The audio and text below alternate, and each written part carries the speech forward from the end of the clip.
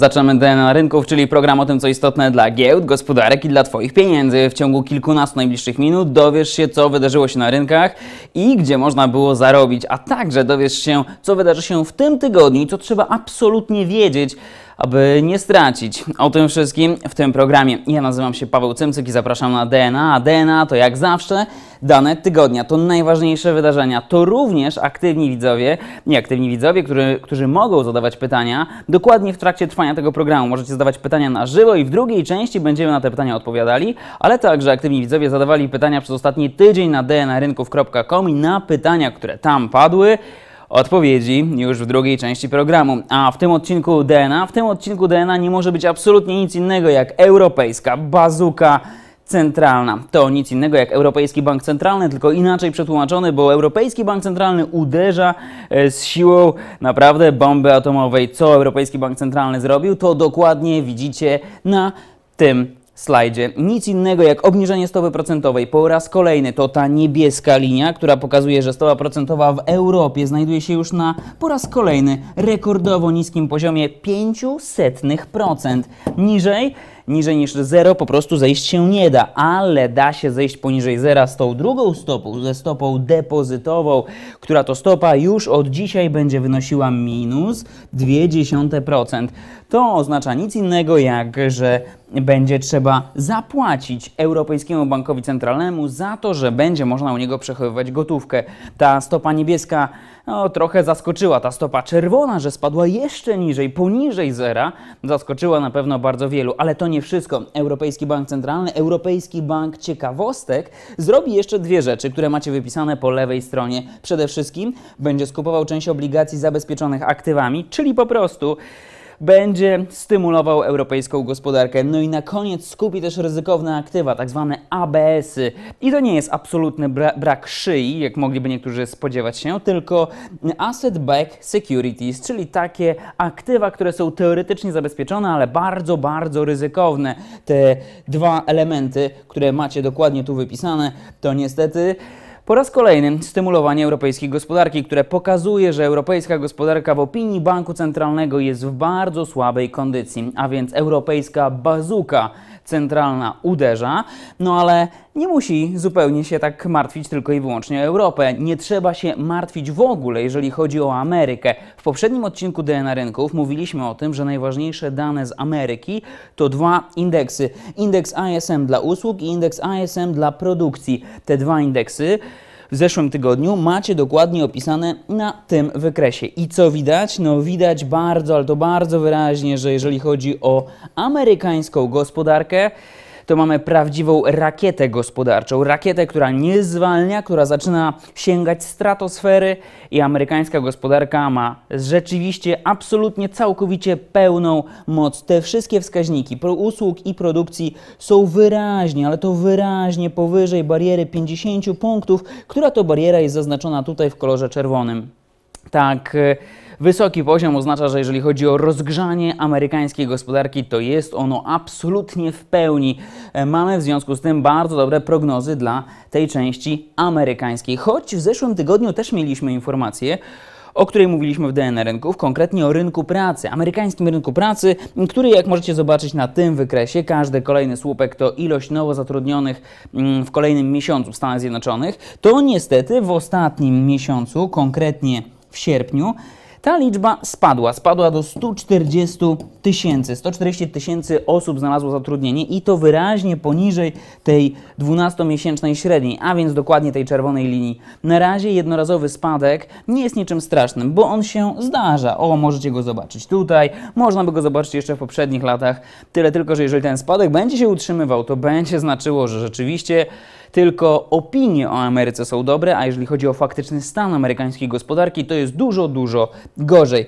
To, co może świecić dobrym przykładem, co jest takim przebiśniegiem europejskim, jeżeli chodzi o te europejskie spowolnienie, to też w zeszłym tygodniu sygnalizowane w DNA rynków mm, dana o niemieckiej produkcji. Niemiecka produkcja, każdy kolejny miesiąc na tym wykresie, e, zielony słupek to dobrze, bo rośnie, czerwony słupek to źle, bo spada. No i widzieliśmy, że w poprzednim miesiącu konkretnie w czerwcu, było słabo. Były obawy, że ten spadek niemieckiej produkcji będzie się utrzymywał. Na szczęście taki przebiśnieg, trochę optymizmu, jeżeli chodzi o europejską gospodarkę, trochę uśmiechu europejskiego wzbudził właśnie ten słupek, a więc niemiecka produkcja trochę odbiła, choć jeszcze bym się specjalnie nie cieszył, bo to jest tylko i wyłącznie efekt bazy. Rok temu po prostu ona wyraźnie spadła. Wszystko o tej niemieckiej produkcji, o europejskiej produkcji okaże się tak na dobrą sprawę po wrześniu, kiedy już będziemy wchodzili w ten okres bardzo silnego zeszłorocznego wzrostu. A więc na razie, choć niemiecka produkcja silnie w górę, to jeżeli chodzi o niemiecki wzrost, to duży znak zapytania. No i na koniec jeszcze jedna informacja z zeszłego tygodnia, z poprzedniego odcinka DNA Rynków, a więc indeks PMI dla Polski. Ci z Was, którzy oglądają bardzo często DNA Rynków, wiedzą doskonale, że na ten indeks spoglądamy i patrzymy, czy jest on wyższy od 50 punktów. Właśnie w ostatnim odcinku DNA Rynków było wytłumaczone, czym jest dokładnie indeks PMI, a więc wszyscy wiedzą, że jeżeli jest więcej niż 50 punktów, wyżej niż ta czerwona linia, jest dobrze. Jeżeli jest mniej niż 50 punktów, jest e, źle. No i niestety to, co widzicie tutaj, to jest po raz szósty spadek tego indeksu. Szósty raz polska gospodarka ma się gorzej, a co jeszcze gorsze, drugi miesiąc z rzędu dokładnie. Tutaj jesteśmy poniżej bariery 50 punktów. Niestety,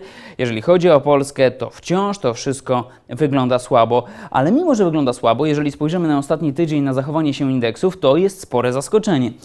Indeks WIG30 rośnie o 5, tak, to nie pomyłka, o blisko 5% i sięga 2700 punktów. Co więcej, trend 6-miesięczny zaczyna się w końcu robić wzrostowy. No, spora nam się różnica zrobiła, dane coraz gorsze, a rynki w górę. Amerykanie mimo tak super dobrych danych zaledwie 0,2% w górę, ale 6-miesięczny trend naprawdę bardzo solidnie i bardzo mocno w górę. No tu Amerykanie się z pewnością bardzo mocno cieszą. Złotówka trochę mocniejsza o 0,7% i 4,17 na liczniku, a aktywem najciekawszym wybranym przeze mnie specjalnie dla Was za ostatni tydzień nie są niemieckie obligacje, które mają ujemną rentowność, nie są rekordowe polskie obligacje, ale Chiny. Chiny, które zyskały również w ostatnim tygodniu 5%, a w całe 12 miesięcy, w cały rok już są na 10% plusie. O Chinach mówiliśmy 2-3 miesiące temu w DNA Rynków, że warto spojrzeć na ten rynek, bo wydaje się interesujący. Na razie tak, na jak tak na razie jest, jak najbardziej tak się dzieje. A jeżeli Ty masz pytanie o giełdy gospodarki albo o swoje inwestycje, Śmiało możesz to pytanie zadać w trakcie trwania tego programu albo w ciągu tygodnia na stronie dnarynków.com na pytania tam zadane odpowiadam w kolejnym odcinku. A więc jeżeli masz takie pytanie, to pytaj, a my teraz przejdziemy do tego, co się będzie działo dokładnie w tym tygodniu. A więc Europejska Bazuka Centralna to tytuł tego odcinka, a my już można powiedzieć, możemy przejść do poniedziałku. I co w poniedziałek e, będzie najciekawsze, najważniejsze dla rynków? Przede wszystkim niemiecki eksport. Niemiecki eksport, czyli sytuacja niemieckiej gospodarki, czy ona się ma lepiej, czy gorzej. Im wyższy ten eksport, tym faktycznie jest lepiej, no ale na razie ten eksport rośnie o zaledwie 0,5%. Prognozy są na 0,5%, a więc bardzo, bardzo słabo. E, wszystko powyżej spadku, wszystko co będzie na plusie, bo powinno być odebrane dobrze, ale półprocentowy wzrost naprawdę na nikim nie zrobi wrażenia. To co już wiemy, a co wydaje mi się było najważniejszą informacją dokładnie tego dnia, czyli poniedziałku, to chiński bilans handlowy, a więc jaka jest różnica pomiędzy tym, co Chiny wyeksportowały, a tym, co Chiny zaimportowały. I tutaj kolejny raz mamy rekordową, dużą nadwyżkę handlową w danym miesiącu.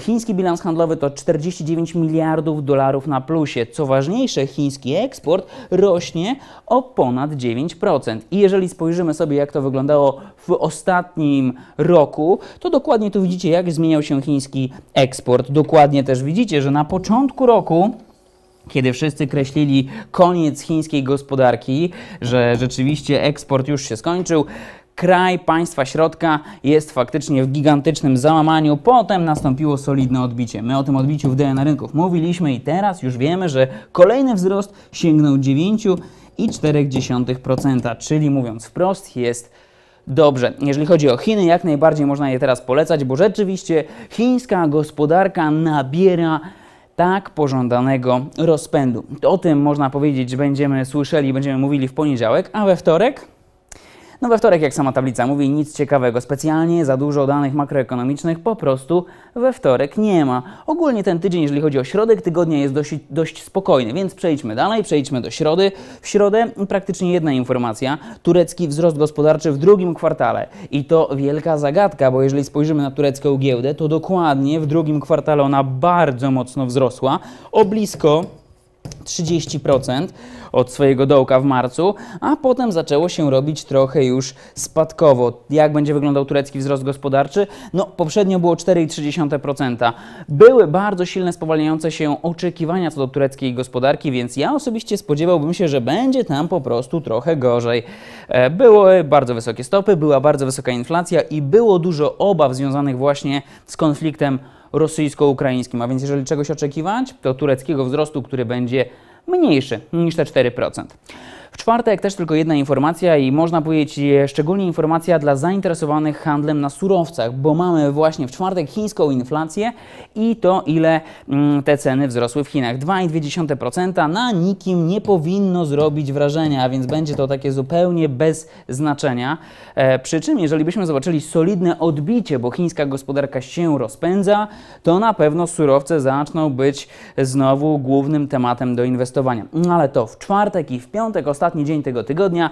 W piątek trzy najważniejsze informacje. Na początku produkcja w Japonii, a więc to, jak japońska gospodarka radzi sobie po bardzo dobrym 2013 roku. Wszystko, co będzie na plusie, będzie odebrane dobrze, a wydaje się, że po ostatnim osłabieniu jena nawet powinno być tu wyżej. 1,5% na pewno by e, sprawiło, że japoński rynek zyskałby dodatkowe paliwo do wzrostów. To, co jeszcze będzie w piątek, to produkcja w strefie euro, czyli dokładnie to, ile kraje w strefie euro wyprodukowały. Wzrost 1,2% jak najbardziej rozsądny i to, co można, może tylko martwić, e, że jednak niemiecka gospodarka w tym drugim kwartale spowolniła, więc trudno oczekiwać, aby tu było jakieś pozytywne zaskoczenie. Wszystko powyżej jednego to dobry wynik. No a może się okazać, że niestety aż tak dobrze nie ma.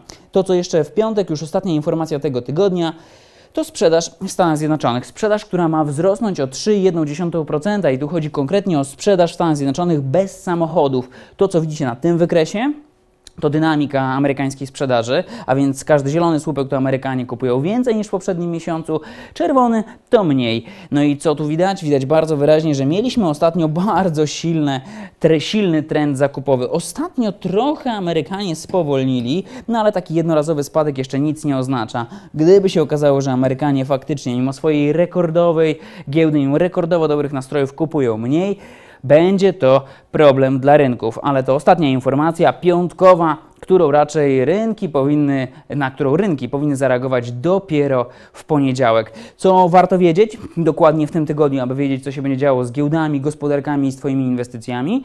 Przede wszystkim Sprzedaż w Stanach Zjednoczonych, a więc informacja piątkowa. Chiński eksport, jak wyglądał, czyli ta druga najważniejsza gospodarka na świecie, ale my już wiemy, że wyglądał dobrze. I produkcja w Japonii, czyli to, jak radzą sobie Japończycy. A w związku z tym, że w ostatnim tygodniu było bardzo wiele pytań, grubo ponad 50 maili przyszło z tematem, czy będzie w końcu portfel DNA rynków, to też uruchomiliśmy w tym odcinku portfel DNA rynków. I tak jak wszyscy doskonale pamiętacie, motto DNA rynków to inwestowanie łyżeczką a nie chochlą, to my też w tym portfelu zainwestujemy. Zainwestujemy na początku tylko i wyłącznie 20%, konkretnie 20% w część ryzykowną, czyli tą łyżeczką, a chochlą będziemy jeszcze trzymali pieniądze w gotówce, czyli na razie akcje w Stanach Zjednoczonych, akcje w Chinach, a więc dwa ryzykowne rynki i dużo, dużo bezpieczeństwa. Co miesiąc zrobimy zmianę w portfelu DNA rynków, aby zobaczyć, ile uda się na tych makroekonomicznych ciekawostkach zarobić. O portfelu DNA rynków, o wydarzeniach,